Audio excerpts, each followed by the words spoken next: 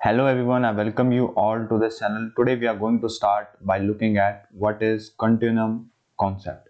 ठीक है continuum concept क्या होता है इसको हम सबसे पहले आज समझेंगे तो जो ये कॉन्सेप्ट है ठीक है ना जो ये कॉन्सेप्ट है यहाँ पे ये एक टाइप का आइडियलाइजेशन है ये एक टाइप का अजम्पशन है जो कि हमारे दो सब्जेक्ट्स में काम आता है बात करेंगे वो दो सब्जेक्ट्स कौन कौन से हैं बट हमने कहा ये क्या करता है अज्यूम करता है किसी एक बात को। और किस बात को अज्यूम करेगा, नाम से पता चल रहा है कि इसका नाम है कंटिन्यूम कॉन्सेप्ट यानी कि ये बात करता है ऐसे मैटर की जो कंटिन्यूस होता है। या फिर आप कहें, जो मैटर या फिर मास जो है किसी मैटर में अगर कंटिन्यूसली या यूनिफॉर्मली डिस्ट्रीब्यूट है, ठीक है ना? कंटिन्यूसली डिस्ट्रीब्यूट है कि उसमें गैप ही ना रहे मॉलिक्यूल्स के बीच में तो उसको हम बोलते हैं आपका कंटिन्यूस सिस्टम और उसी सिस्टम पे ही आपका कंटिन्यूम कॉन्सेप्ट लागू होगा। दैट मीन्स वो जो सिस्टम है, उसी सिस्टम को डिफाइन करता है ये कंटिन्यूम कॉन्सेप्ट किस सिस्टम को? जो आपका जो मैटर है, वो क्या होगा अगर? कंटिन्यूस सिस्टम है। वो कंटिन्यूस सिस्टम कब होगा? मैटर तीन टाइप के होते हैं, क्योंकि आपको पता है सॉलिड लिक्विड और गैस और हमने कहा कि वो कंटिन्यूस सिस्टम तब होगा जब हमारे पास मॉलिक्यूल के बीच में गैपिंग कम से कम हो। तो हमें पता है सॉलिड जो है वो ऑब्वियसली कंटिन्यूस सिस्टम है तो उसकी बात हम यहाँ पे नहीं करते। हम लिक्विड और गैस की बात कर रहे होते हैं साइमल्टेनियसली या फिर रिस्पेक्टिवली कहें हमारे दो सब्जेक्ट्स में, किस किसमें? फ्लूड मैकेनिक्स और थर्मोडाइनमिक्स में। फ्लूइड मैकेनिक्स और थर्मोडाइनमिक्स में। ठीक है? तो अगर हमारे पास फ्लूइड लिक्विड है कहीं पे और हम चाहते हैं कि जो लिक्विड है उसके जो मॉलिक्यूल हैं, वो पास पास रहें, ठीक है ना? वो पास पास रहें। एक डिस्टेंस होगी, जिसके बाद कंटिन्यूम कॉन्सेप्ट वैलिड नहीं होगा, ठीक है? अगर हमारे, क्योंकि सॉलिड में मॉलिक्यूल पास होते हैं, ये तो उसका नेचर है बट लिक्विड और गैस में जैसे ही हम आते हैं, जैसे ही फेस चेंज होता है सॉलिड से लिक्विड या गैस तो लिक्विड और गैस में हम देखते हैं कि जो हमारे मॉलिक्यूल हैं, वो कई बार बहुत दूर भी होते हैं और कई बार पास भी होते हैं। तो जब बहुत ज़्यादा दूर रहते हैं तो तब तो हमारा कंटिन्यूम कॉन्सेप्ट एप्लीकेबल नहीं होगा। अब वो लिमिट क्या होगी, वो एक बात अलग है। वो डिपेंड करती है नुटसन नंबर पे। तो आइए समझें कि भाई नुटसन नंबर क्या होता है। नुटसन नंबर होता है लैम्डा अपॉन एल लैम्डा होता है mean free path mean free path और एल होता है कैरेक्टरिस्टिक लेंथ कैरेक्टरिस्टिक लेंथ ठीक है? कई बार उसको डाया ले लिया जाता है, कई बार लेंथ लिया जाता है डिपेंडिंग अपॉन क्या आपके पास कंडीशन है? बट यहाँ पे आप जनरली देखें तो लेमडा का मतलब क्या होता है? पहले हमें ये समझना इंपॉर्टेंट है, क्योंकि इसी से ही आप ये समझ पाएँगे कि जो हमारा सिस्टम है, वो आपका उस पर कंटिन्यूम कॉन्सेप्ट वैलिड है या नहीं है। ठीक है? तो इसको समझने के लिए आपका न्यूटन नंबर कहें या मीन फ्री पाथ कहें, वो यहाँ पे इंपॉर्टेंट होता है उसको समझना। तो मीन फ्री पाथ वो है जब आपके पास दो पार्टिकल है किसी एक सिस्टम में, क्योंकि सॉलिड में तो कोलिजन नहीं होता, लिक्विड और गैस में कोलिजन होता है, ठीक है ना? सॉलिड में ऐसा कोलिजन नहीं होता है कि किसी एक मॉलिक्यूल से दूसरे मॉलिक्यूल में मोमेंटम ट्रांसफ़र हो और वो मोशन ट्रांसमिट करें, बट लिक्विड और गैस के केस में ऐसा होता है। तो यहाँ पे बात आ जाती है मीन फ्री पाथ की, इसमें क्योंकि कोलिजन होता है और वो कोलिजन आपका विजिबल होता है, ठीक है? सॉलिड में भी होता है, बट वो बहुत नेग्लिजिबल होता है। अब बात करें कि यहाँ पे जो कोलिजन है जो टकराव है एक पार्टिकल से दूसरे पार्टिकल के बीच में तो जो कॉन्जिक्यूटिव कोलिजन होते हैं, उनके बीच में जो एवरेज डिस्टेंस होता है, उसको हम बोलते हैं क्या? मीन फ्री पाथ उसी को हम लैम्डा से रिप्रेजेंट करते हैं। तो यहाँ पे डिपेंड ये कर रहा है कि अगर कोई भी दो पार्टिकल हैं और उन दोनों के बीच में कोलोजन हो रहा है, उस कोलोजन के दौरान उनके बीच में एक खास डिस्टेंस क्रिएट हो रहा होगा और वो जो एवरेज डिस्टेंस है, उसको हमने कहा वो है हमारा मीन फ्री पाथ ठीक है? तो यहाँ पे ये हमें समझ में आता है। अब ये नुटसन नंबर ही डिफाइन करेगा आगे जाके कि कौन सा सिस्टम ऐसा है जिसमें आपका कंटिन्यूम कॉन्सेप्ट वैलिड होगा और किसमें वैलिड नहीं होगा। तो आइए आगे देखें कि हमारे पास कंटिन्यूम कॉन्सेप्ट को समझने के लिए हमारे पास यहाँ पे दो सिस्टम होते हैं मेनली और उनमें से अगर आप कभी भी बात करते हैं किसी भी साइंस की चाहे वो फ्लूड मैकेनिक्स है, चाहे वो कोई भी ब्रांच है साइंस की तो हमारे पास दो टाइप की अप्रोचेस आती हैं। एक तो आती है मैक्रोस्कोपिक अप्रोच दूसरी आती है माइक्रोस्कोपिक अप्रोच ठीक है? इसमें हमें ये जानने को मिलेगा कि कैसे हमारे पास जो भी हम स्टडी करते हैं, चाहे कोई भी हम सब्जेक्ट उठा रहे हैं, हम हमेशा बात करते हैं मैक्रोस्कोपिक की। माइक्रोस्कोपिक की हम बात नहीं करते, ठीक है ना? माइक्रोस्कोपिक की हम स्टडी नहीं करते। क्यों नहीं करते हैं? क्योंकि हमारे पास मैक्रोस्कोपिक ही इंपॉर्टेंट होता है डे टू डे लाइफ की प्रॉब्लम्स के साथ डील करने के लिए। कैसे? इसी के लिए ही हमारा कंटिन्यूम कॉन्सेप्ट भी है, ठीक है ना? माइक्रोस्कोपिक के लिए नहीं है। तो जो मैक्रोस्कोपिक या क्लासिकल अप्रोच है पढ़ने की, वो ये होती है फॉर एग्ज़ाम्पल अगर मैं यहाँ पर एक ट्यूब ले लूँ, ठीक है? फॉर एग्ज़ाम्पल मैं यहाँ पे ट्यूब ले लूँ।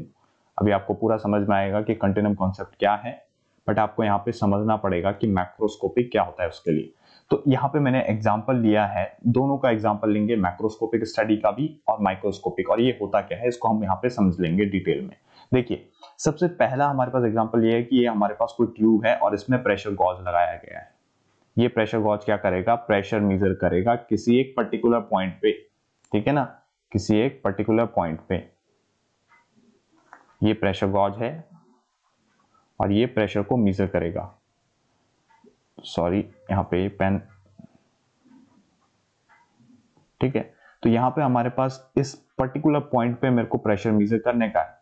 तो मैं क्या कर रहा हूँ, यहाँ पे मैंने प्रेशर गॉज लगाया और इस ट्यूब का प्रेशर मीजर कर दिया। तो ये होती है हमारी मैक्रोस्कोपिक अप्रोच क्यों है ये? अभी बात करेंगे इस पर ऐसे ही हमारे पास मेरे पास कोई रीजन है। ठीक है? मेरे पास कोई रीजन है इस तरीके से। और इस रीजन के अंदर कुछ पार्टिकल है गैस के। और गैस के जो पार्टिकल हैं, इसी को ही हम बोल देते हैं। बहुत दूर दूर हैं तो इसको हम बोल देते हैं रेरिफाइड गैस ठीक है ना? रेरिफाइड गैस एग्ज़ाम्पल हमने समझ लिया। रेरिफाइड गैस में क्या है? मॉलिक्यूल या पार्टिकल जो है, वो दूर दूर है। और ये यूज़ कहाँ पे होती है तो आपको ये भी ध्यान में रखना है। जो हमारे पास हमें सैटेलाइट लॉन्च करनी होती है, उसमें जो रॉकेट यूज़ होता है, उसमें यूज़ होती है हमारी रेरिफाइड गैसेस ठीक है? तो वहाँ पे आपकी माइक्रोस्कोपिक अप्रोच है। राइट बट मैंने कहा जो नॉर्मली हमारे पास फेनामेना है, जिनके साथ हम डील कर रहे होते हैं हमारे थर्मोडाइनमिक्स और फ्लूइड मैकेनिक्स में, वो हमारे मैक्रोस्कोपिक अप्रोच के अंतर्गत आती है। मतलब जो हम स्टडी करेंगे अपने सब्जेक्ट्स में मैकेनिकल इंजीनियरिंग में, वो मेनली क्या होगा? मैक्रोस्कोपिक के बारे में हम बात कर रहे होंगे, ठीक है? पूरी स्टडी उसी को लेके होगी थ्रू आउट द सब्जेक्ट अब बात हमने करी कि भाई मैक्रोस्कोपिक क्या है? तो मैक्रोस्कोपिक वो है जिसमें आप एक एवरेज स्टडी कर रहे होते हो। क्या कर रहे होते हो? एवरेज स्टडी कर रहे होते हो। तो हमने कहा कि मॉलिक्यूल की एवरेज स्टडी कर रहे होते हैं। तो एवरेज स्टडी ठीक?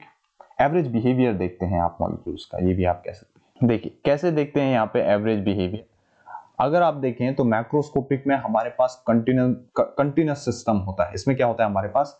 कंटिन्यूस सिस्टम होता है। कंटिन्यूस सिस्टम मतलब यहाँ पे जो मॉलिक्यूल हैं, ठीक है ना, उनके बीच में कम से कम गैपिंग है। देखिए, हमने बात करी थी अभी तक कंटिन्यूम कॉन्सेप्ट की तो उसको डिफाइन अगर मैं यहाँ पे करूँ, ठीक है ना, ताकि आपको समझ में आए। देखिए कंटिन्यूम कॉन्सेप्ट क्या कॉन्सेप्ट है? It assumes a continuous distribution of mass within the matter of system with no empty space ठीक है, हमने कहा कंटिन्यूम कॉन्सेप्ट वो है, जिसमें हम किसी एक मैटर की बात कर रहे होते हैं, जिसमें कि हमारा जो मास है, ठीक है ना, हम किसी एक मैटर की बात करते हैं, जिसमें हमारा जो मास है, वो क्या है? कंटिन्यूसली डिस्ट्रीब्यूट है। ठीक है ना, ऐसा नहीं है कि उसके बीच में कुछ गैप है। ठीक है तो सॉलिड में तो ऐसा होने से रहा कि यहाँ पे कुछ गैप रहे कम से कम ज़्यादातर केसेस में कम से कम गैप आपको देखने को मिलता है। बट लिक्विड और गैस के केस में ऐसा है इसीलिए कंटिन्यूम कॉन्सेप्ट लिक्विड और गैस के लिए वैलिड है या फिर आप कहें रिस्पेक्टिवली इन दो सब्जेक्ट्स के लिए वैलिड रहता है।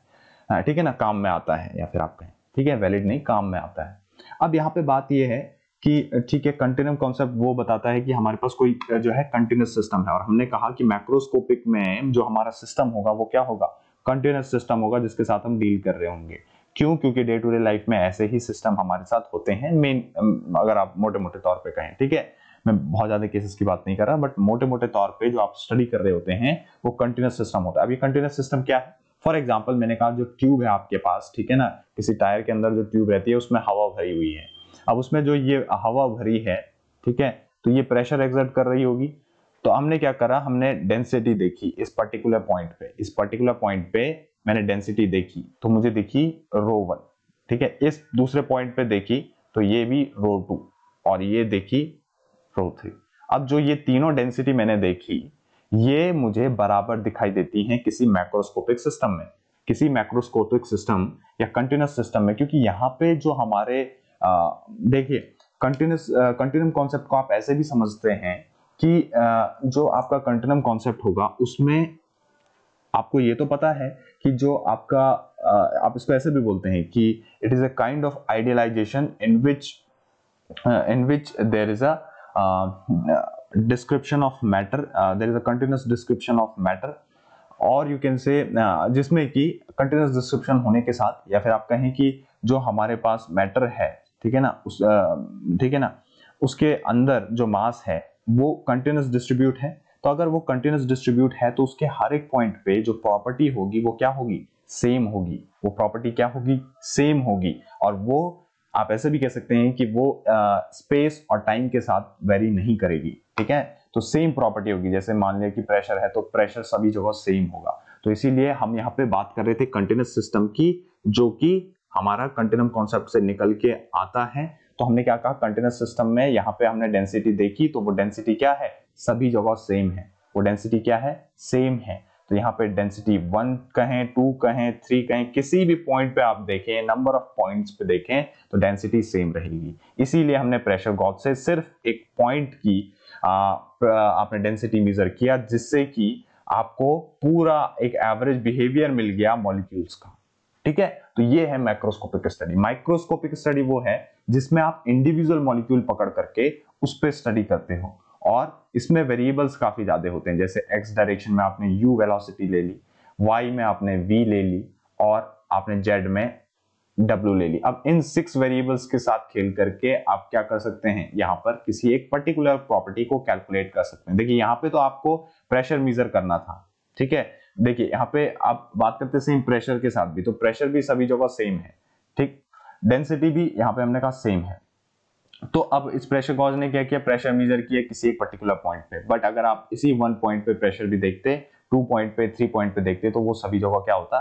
सेम होता, ठीक है ना? सभी जगह सेम होता। है कोई भी प्रॉपर्टी आप ले सकते हैं प्रेशर डेंसिटी टेम्परेचर राइट अब ये आपको समझ में आए तो कंटिन्यूस सिस्टम यहाँ पे होता है। और यहाँ पे कौन सा सिस्टम होता है? माइक्रोस्कोपिक में डिस्क्रीट सिस्टम डिस्क्रीट सिस्टम ठीक है आप ये डिस्क्रीट सिस्टम मतलब डिस्क्रीट मतलब कि यहाँ पे जो हमारे मॉलिक्यूल हैं। ठीक है ना डिस्क्रीट सिस्टम मतलब यहाँ पे जो हमारे मॉलिक्यूल हैं या फिर पार्टिकल हैं, वो एक दूसरे से काफ़ी दूर है। ठीक है, एक दूसरे से काफ़ी दूर है। तो इसी को ही हम आगे समझें। तो यहाँ पे हमें एक चीज़ पता चल गई कि जो हमारी प्रॉपर्टी है, वो टाइम और स्पेस के साथ बदलेगी नहीं। और इसी कंटिन्यूस सिस्टम पे ही हमारा अप्लाई होता है क्या? जो हमने पढ़ा कंटिन्यूम कॉन्सेप्ट कंटिन्यूम कॉन्सेप्ट और कंटिन्यूम कॉन्सेप्ट क्या है? Continuum concept is the idealisation in which ठीक है ना kind of idealisation in which the matter have continuous description of mass within it ठीक है? और उसी के साथ साथ and there is no change in property with respect to space and time while dealing with such concept और you can say while dealing with continuous system तो ये कंटिन्यूम कॉन्सेप्ट है। अब कंटिन्यूम कॉन्सेप्ट में हमने कहा नुटसन नंबर होता है के एन जिसको हम लैम्डा अपॉन एल लिखते हैं। अब इसमें जो के एन है, उसका वैल्यू 0.01 से कम होना चाहिए। 01 से कम होना चाहिए। अगर आप चाहते हैं कि आपका सिस्टम आपके सिस्टम पे कंटिन्यूम कॉन्सेप्ट अप्लाई हो या फिर आपका जो सिस्टम है, वो कंटिन्यूस सिस्टम हो। अगर आपका सिस्टम कंटिन्यूस सिस्टम नहीं है तो इसका मतलब वो डिस्क्रीट सिस्टम है। वहाँ पर आपके मॉलिक्यूल्स का डिस्टेंस बढ़ चुका है। और अगर मॉलिक्यूल्स के बीच का डिस्टेंस बढ़ चुका है तो उसके लिए नुटसन नंबर इन मतलब कि कॉन्टिन्यूम कॉन्सेप्ट तो इनवैलिड रहेगा और नुटसन नंबर 0.01 से ऊपर होगा। ठीक है? तो वो कब होगा? माइक्रोस्कोपिक के केस में। समझ में आई बात? वो होगा माइक्रोस्कोपिक के केस में। अब देखिए, जैसे हमने यहाँ पे बात करी डेंसिटी की, ठीक है? और हमने प्रेशर भी बोला कि यहाँ पे क्या है? सेम है। इसी तरीके से माइक्रोस्कोपिक में अगर आप देखें तो यहाँ पे जो डेंसिटी होगी वो इस पॉइंट पे अगर रो वन है, इस पॉइंट पे रो टू है, इस पॉइंट पे रो थ्री है तो वो जो है, वो डिफरेंट है। वो एक दूसरे के बराबर नहीं है, वो डिफरेंट है। तो आप बात कर रहे हैं माइक्रोस्कोपिक की, क्योंकि यहाँ पर आपका कंटिन्यूस सिस्टम नहीं है, जो गैपिंग है, वो सेम मेंटेन नहीं है throughout the throughout the system और यू कैन से कि जो यहाँ पर आप गैपिंग है, वो ज़्यादा है। ठीक है, ये भी बोल सकते हैं कि डिस्टेंस जो है, वो बढ़ चुका है मॉलिक्यूल्स के बीच में। और साथ ही साथ वो प्रॉपरली डिस्ट्रीब्यूट नहीं है। ठीक है ना? प्रॉपरली डिस्ट्रीब्यूट नहीं है आपका सिस्टम किसमें माइक्रोस्कोपिक अप्रोच में। तो ये हमने कहा, जब आप हाई एल्टीट्यूड्स में जाते हैं, वहाँ पे आपका माइक्रोस्कोपिक अप्रोच काम आता है। ठीक है? और ये कब होगा? इसकी शर्त ये है कि इस पे कंटिन्यूम कॉन्सेप्ट तो वैलिड नहीं होगा, क्योंकि मास आपका कंटिन्यूस नहीं है डिस्क्रीट सिस्टम है, और इसीलिए इसमें नुकसान नंबर का वैल्यू 0.01 से ज़्यादा होगा। ठीक है? यहाँ पे ये चीज़ हमें समझ में आती है। क्लियर अब कुछ और पॉइंट अगर आप समझें तो देखिए, जैसे हमने यहाँ पे प्रेशर मीजर किया, हमने यहाँ पे प्रेशर मीजर किया था, ठीक है, यहाँ पे देखें हम तो हमें ये तो पता चल गया था कि जो हम प्रेशर मीजर कर रहे हैं, वो हमने सिर्फ़ और सिर्फ़ इसी पॉइंट पे मीजर किया। बट अगर मेरे को माइक्रोस्कोपिक में प्रेशर मीजर करना है तो मुझे क्या करना पड़ेगा? पूरे इसका प्रेशर मीजर करना पड़ेगा। कैसे? हर एक इंडिविजुअल मॉलिक्यूल की स्टडी करके। कैसे? जैसे कि हमने यहाँ पे बताया सिक्स वेरिएबल्स के साथ जब आप कैलकुलेशन करोगे, और वो आप सेम ठीक है? जो आप किसी एक मॉलिक्यूल के लिए कैलकुलेशन करोगे, वो आप किसी दूसरे के लिए भी करोगे, तब जाके आप सबका एक ओवरऑल देखोगे कि भाई एवरेज कितना आ रहा है, हर एक इंडिविजुअल मॉलिक्यूल की स्टडी करके। ठीक है? तो ये बात आपको समझ में आई कि यहाँ पे, जैसे आपने यहाँ पे प्रेशर कैलकुलेट किया तो ये तो लार्ज करेक्टरिस्टिक प्रॉपर्टी हो गई। टेम्परेचर कैलकुलेट किया किसी थर्मोमीटर से तो आप थर्मोमीटर से किसी टेम्परेचर को किसी बॉडी का टेम्परेचर मेजर करते हैं तो आप बॉडी के किसी एक पॉइंट पे लगाते हैं उस थर्मोमीटर को। बट माइक्रोस्कोपिक में क्या करना है? अगर आपको टेम्परेचर मेजर करना है तो हर एक मॉलिक्यूल की काइनेटिक एनर्जी वो भी ट्रांसलेशनल कैलकुलेट करनी पड़ेगी इंडिविजुअल इंडिविजुअली ठीक है ना? इंडिविजुअल मॉलिक्यूल के लिए इंडिविजुअल काइनेटिक एनर्जी आपको वो भी ट्रांसलेशनल कैलकुलेट करनी पड़ेगी। इसी तरीके से मेरे को प्रेशर कैलकुलेट करना है तो इंडिविजुअल मॉलिक्यूल के लिए मेरे को मोमेंटम कैलकुलेट करना पड़ेगा, ठीक है? या फिर आप कहें वेलोसिटी कैलकुलेट करनी पड़ेगी, ठीक? और वेलोसिटी कितनी है? तीन वेलोसिटीज हैं हर एक पार्टिकल के लिए। तो यहाँ पे कैलकुलेशन काफ़ी टफ है, इसीलिए ये एक हार्डर अप्रोच है, ठीक है? समझ में आई बात? ये क्या है? एक हार्डर अप्रोच है। तो आप लिख सकते हैं कि जो मैक्रोस्कोपिक है, वो इजी अप्रोच है और इजी अप्रोच है और यहाँ पर बल्क में स्टडी कर रहे हैं। ठीक है? एक पॉइंट पे आपने स्टडी करी प्रेशर की और आपको पूरे बल्क का प्रेशर पता चल गया। इसी तरीके से आपने यहाँ पर यहाँ पर आपको हर एक इंडिविजुअल मॉलिक्यूल की करनी पड़ी। तो यहाँ पर आपको, ठीक है ना? समझ में आता है कि ये क्या है? हार्ड अप्रोच है। हार्ड अप्रोच है। क्यों हार्ड अप्रोच है? क्योंकि कैलकुलेशन हार्ड है। क्योंकि इसको, इसीलिए तो इसको बोलते हैं माइक्रोस्कोपिक को स्टैटिस्टिकल अप्रोच भी आप उसको बोल सकते हैं स्टैटिस्टिकल स्टडी भी आप उसको बोल सकते हैं, क्योंकि यहाँ पर आपको काइंड ऑफ़ स्टैटिक्स जैसे आप कैलकुलेशन करते हो स्टैटिक्स में आप मैथ्स में पढ़ते हो स्टैटिक्स वैसे ही आपको यहाँ पे भी कैलकुलेशन करनी होती है, ठीक? तो ये चीज़ हमें समझ में आती है। अब बात आती है, देखिए, अब आगे हम समझें इस चीज़ को। हमने ये समझा कि हमारे पास जो कंटिन्यूम कॉन्सेप्ट है, वो वैलिड ही होता है किसके लिए? केवल और केवल हमारे माइक्रोस्कोपिक अप्रोच के लिए या फिर कहें क्लासिकल अप्रोच के लिए क्योंकि इसी अप्रोच को ही लेकर के हम हमारे सब्जेक्ट्स पढ़ते हैं जो कि फ्लूड मैकेनिक्स और थर्मोडायनेमिक्स है। ठीक है फ्लूइड मैकेनिक्स और थर्मोडायनेमिक्स है। हम ये मानते हैं कि जो भी लिक्विड मेरे पास फ्लूड मैकेनिक्स में होगा या जो भी गैस मेरे पास थर्मोडाइनमिक्स में होगी वो क्या होगी? कंटिन्यूसली डिस्ट्रीब्यूट होगी। ठीक है ना? उस, उसका जो मास है वो पूरे में कंटिन्यूसली या फिर आप कहें बिना गैप के साथ डिस्ट्रीब्यूट होगा। ठीक है ना? कम से कम गैप के साथ। और आप ये कहें कि प्रॉपरली डिस्ट्रीब्यूट होगा। ठीक है? या फिर आप ये भी कह सकते हैं कि वहाँ पे लार्ज नंबर ऑफ़ मॉलिक्यूल होंगे। अगर मॉलिक्यूल कम हो गए तो ऑब्वियसली बात यही है कि वहाँ पे वो माइक्रोस्कोपिक बन जाता है। ठीक है? तो मॉलिक्यूल आपके ठीक अमाउंट में होते हैं, क्योंकि डे टू डे लाइफ में आप देखते हैं कि हर जगह आपका मॉलिक्यूल रहता ही है। अनलेस कि आप हाई एल्टीट्यूड में नहीं जा रहे हैं या फिर आप वैक्यूम के साथ डील नहीं कर रहे हैं। तो ये हमारे पास यहाँ पे समझ में आता है हमें मैक्रोस्कोपिक अप्रोच अब हमने बात करी कि भाई कंटिन्यूम कॉन्सेप्ट जो है वो मैक्रोस्कोपिक के लिए एप्लीकेबल होगा और इसी को ही हम पढ़ते हैं ठीक है? ठीक है हम पूरी स्टडी जो करते हैं वो मैक्रोस्कोपिक पे बेस्ड होती है. अब बात आती है आ, कि इन दोनों को हम हमने अभी देखा कि जो डेंसिटी है ठीक है? अगर मैं किसी माइक्रोस्कोपिक की बात कर रहा हूँ ये माइक्रोस्कोपिक है मान लिया ये माइक्रोस्कोपिक है तो इसमें जो डेंसिटी है वो सभी जगह सेम है. ठीक है ना? सभी जगह सेम है। और इसमें जो डेंसिटी है, वो डिफरेंट डिफरेंट है। ठीक है? तो ये जो डेंसिटी है हम, वो वॉल्यूम के साथ साथ देख रहे हैं। ठीक है? तो अगर मैं यहाँ पे एक डायग्राम बनाऊँ, जिससे कि मैं कंटेनम कॉन्सेप्ट को समझ पाऊँ दोनों अप्रोच के लिए, ठीक है? मैक्रोस्कोपिक और माइक्रोस्कोपिक के लिए तो कुछ इस तरीके से डायग्राम बनता है। ये मान लिया आपका एक, इस एक्सेस में आपका डेंसिटी से आप शो कर रहे हैं और यहाँ पर आपका है वॉल्यूम ठीक है? डेंसिटी को आप यहाँ पे del m by del v से भी शो कर सकते हैं। ठीक है कोई स्मॉल डेंसिटी की बात कर रहे हैं आप किसी स्मॉल स्पेसिफिक वॉल्यूम या फिर कहें किसी छोटे स्पेसिफिक वॉल्यूम पे। तो आप क्या कर रहे हैं अगर आप देखें तो आपके पास जो सिस्टम वन है ठीक है ये जो सिस्टम वन है इसमें कम मॉलिक्यूल हैं रेरिफाइड गैस का जैसे हमने एग्जांपल लिया। तो इससे क्या हो रहा है कि कुछ मॉलिक्यूल तो इधर ज़्यादा भरे हुए हैं कुछ इधर आ, कम है ठीक है। कहीं पे आप कहें कि बहुत ज़्यादा अमाउंट में है मॉलिक्यूल और कहीं पे कम मॉलिक्यूल है, ठीक है?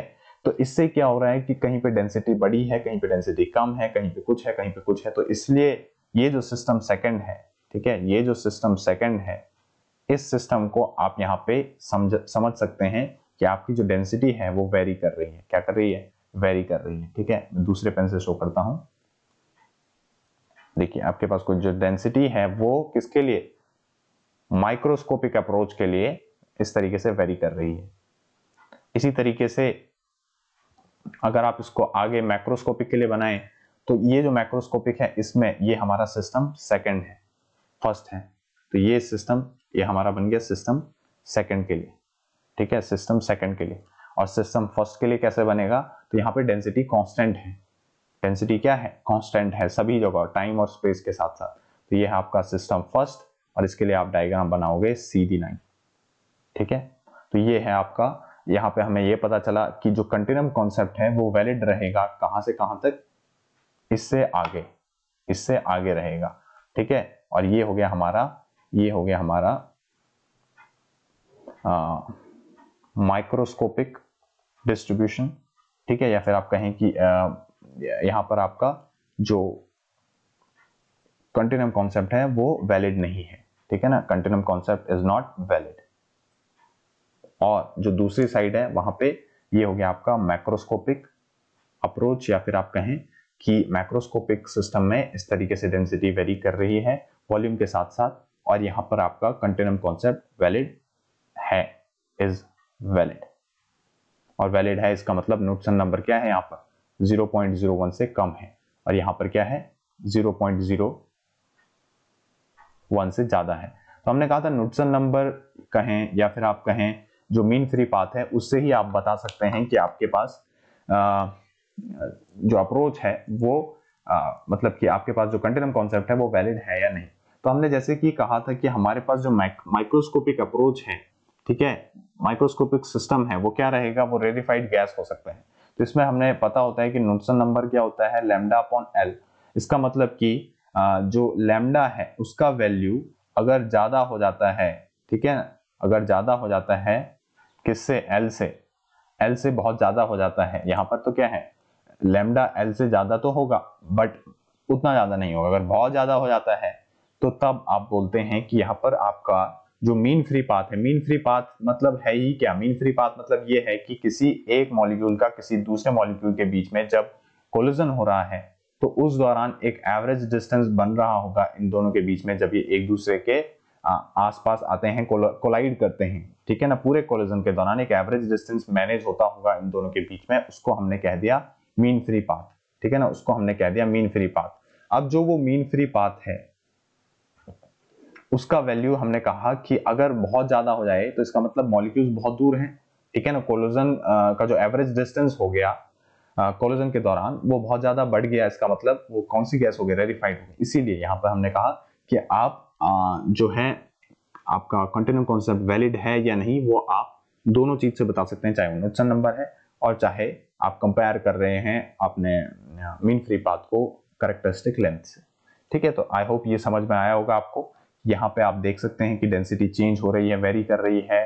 स्पेस और टाइम के साथ साथ या फिर वॉल्यूम के साथ साथ, ठीक है ना? काइंड ऑफ़ आप ये भी बोल सकते हैं कि स्पेसिफिक वॉल्यूम के साथ साथ कि किसी एक पर्टिकुलर वॉल्यूम पे कुछ और आपको डेंसिटी दिखाई देती है तो किसी एक पर्टिकुलर वॉल्यूम पे आपको कुछ और डेंसिटी दिखाई देती है। तो मतलब कि वॉल्यूम के साथ साथ डेंसिटी वेरी हो रही है, जबकि आपके पास जो मैक्रोस्कोपिक सिस्टम है, जिसमें आपका कंटिन्यूम कॉन्सेप्ट वैलिड होगा, उससे ये पता, उसमें ये पता चल रहा है कि जहाँ भी कंटिन्यूम कॉन्सेप्ट वैलिड होगा, वहाँ पर स्पेस या टाइम के चेंज होने के साथ साथ स्पेस या टाइम या फिर आप सिर्फ़ स्पेस कह सकते हैं, या फिर स्पेसिफिक वॉल्यूम के चेंज होने के साथ साथ आपका क्या होगा? जो आपकी प्रॉपर्टी रहेगी, वो सेम रहेगी। प्रॉपर्टी विल नॉट वेरी ठीक है? स्पेस और टाइम के साथ साथ प्रॉपर्टी वेरी नहीं करेगी, और यही आपका, ठीक है ना? प्रॉपर्टी वॉन्ट वेरी और इसी को ही आप बोलते हैं कंटिन्यूम कॉन्सेप्ट यही आपका कंटिन्यूम कॉन्सेप्ट है कि आपका जो मैटर है, वो कंटिन्यूस डिस्क्रिप्शन है मास का, या फिर आप कहें उसमें जो मास है वो कंटिन्यूसली डिस्ट्रीब्यूट है, ठीक है ना? कंटिन्यूस डिस्ट्रीब्यूशन है उसमें, और उसमें कोई एम्पिटी स्पेस नहीं है। ऐसा होने के कारण प्रॉपर्टी जो है वो आपकी स्पेस के साथ साथ, ठीक है ना? प्लेस के साथ साथ या फिर स्पेसिफिक वॉल्यूम के चेंज होने के साथ साथ नहीं बदलती। Thank you for watching this video I hope आपको समझ में आया होगा कि कंटिन्यूम कॉन्सेप्ट क्या है।